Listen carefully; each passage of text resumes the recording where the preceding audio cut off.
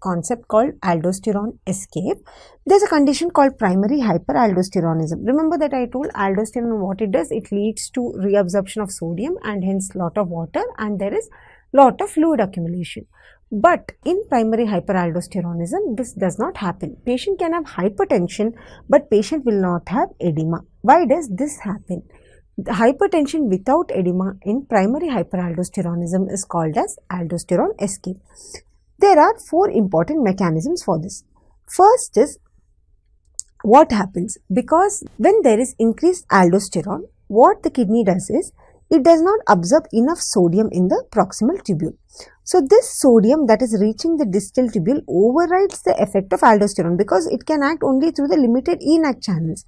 So, once this effect is overridden, this sodium is going to get absorbed. So, whenever there is excess volume, like when I told you, when there is reduced GFR and low volume, body is going to reabsorb increased sodium and water from the proximal tubule.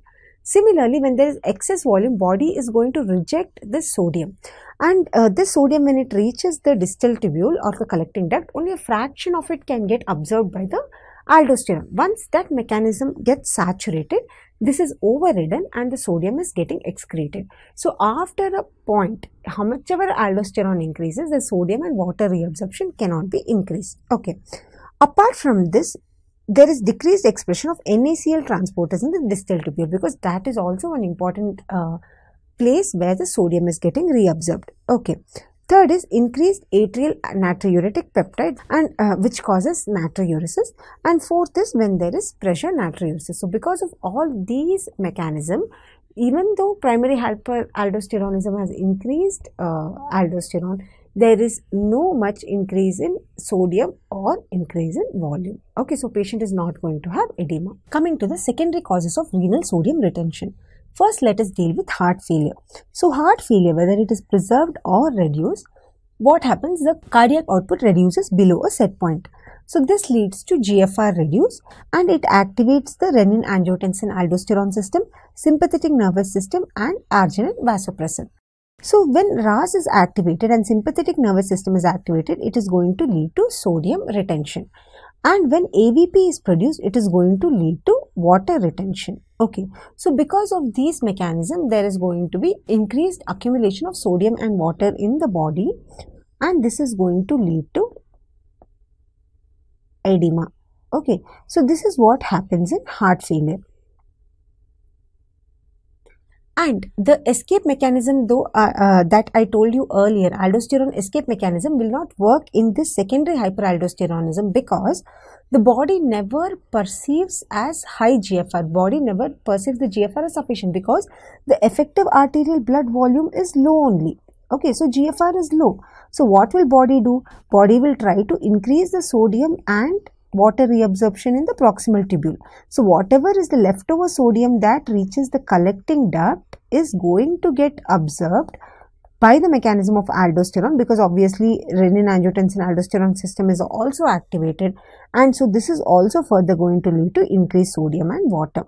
So the aldosterone escape mechanism is inhibited or is not going to act. Okay. So the and also the natriuretic peptide mechanism is inherited inhibited because of reduced arterial blood volume and this is also not going to act. So what is happening? The defense mechanisms are broken in heart failure and because of which water accumulates leading to edema. Now, what happens in cirrhosis? There is sinusoidal and portal hypertension because of which splanchnic arterial vasodilatation occurs. So, all the blood is accumulating in the splanchnic circulation. So, what happens to the rest of the circulation? There is going to be decreased effective arterial blood volume. Now, what happens after this? The high, high pressure baroreceptor uh, activates the renin angiotensin aldosterone system and sympathetic nervous system and ADH. If you go back to the first few slides of this session, I had mentioned when the, whenever there is low pressure, this uh, baroreceptors are activated and the kidney is going to release uh, renin angiotensin renin which subsequently produces aldosterone. There is secretion of uh, ADH. There is also increased sympathetic activity. So, this leads to sodium and water retention and increased plasma volume. Now, if this is adequate to normalize the circulatory homeostasis, then the renin angiotensin aldosterone uh, system gets uh, uh, suppressed because the volume is uh, attained and hence there is going to be normal sodium and water excretion and no ascites. But once this system is disrupted, probably because uh, the portal hypertension worsens, this splanchnic vasodilatation worsens, and the blood, uh, effective arterial blood volume is very, very low. So, in that situation, there's going to be persistent activation of sodium and water retaining system because so it is going to cause continuous sodium and water retention causing ascites and renal vasoconstriction causing hepatorenal syndrome. Okay, so this is the mechanism of water retention in cirrhosis. Now, Coming to the next mechanism of water retention in nephrotic syndrome. This is the third important cause. Okay. So, there are two important theories that happens in nephrotic syndrome. Water is uh, uh, reabsorbed to excess quantity. First is the underfill theory. Underfill theory means what? The blood is filled less. Okay. Or, or there is reduced effective arterial blood volume. So, what does that theory state? Whenever there is proteinuria, there is going to be reduced serum albumin. So, the oncotic pressure is going to reduce which will further reduce the effective arterial blood volume.